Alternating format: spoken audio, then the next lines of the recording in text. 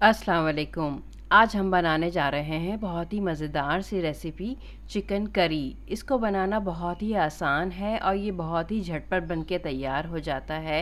तो इसके लिए इस वीडियो को आखिर तक ज़रूर देखिएगा। तो चलिए हम अपनी वीडियो स्टार्ट करते हैं। इसको बनाने के लिए सबसे पहले हम एक कढ़ाई में तेल गरम कर लेंगे, तकरीबन सिक्स टेबल स्पून के बराबर।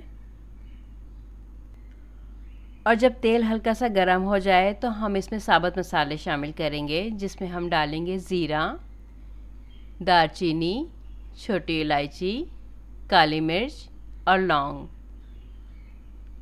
और इसको बस हम चंद सेकंड के लिए फ्राई कर लेंगे। इसके बाद हम इसमें प्याज ऐड करेंगे, दो अदद बारीक कटी हुई। यहाँ पे मैंने मीडियम साइज़ की प्याज ली थी।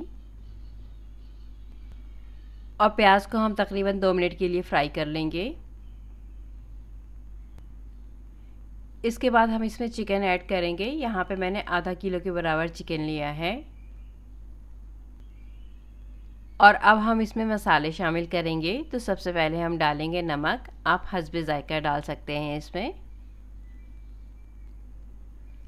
लाल मिर्च पाउडर डालेंगे हाफ़ टी स्पून हल्दी शामिल करेंगे वन फोर टी स्पून ज़ीरा पाउडर। हाफ़ टी स्पून और आखिर में काली मिर्च पाउडर ऐड करेंगे, हाफ़ टी स्पून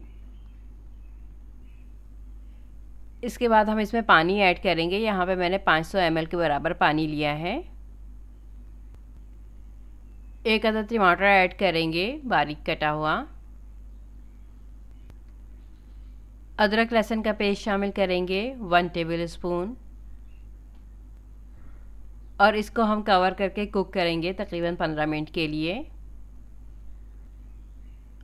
और पंद्रह मिनट के बाद जब इसका टेक्सचर कुछ इस तरह का हो जाएगा तो हम इसमें दही ऐड करेंगे वन फोर्थ कप के बराबर। और इसको हम मज़ीद पाँच से सात मिनट के लिए कुक करेंगे। तो यहाँ पे देखें इसका टेक्सचर कुछ इस तरह का हो जाएगा। आखिर में ये साइडों से यहाँ पे तेल छोड़ने लगेगा।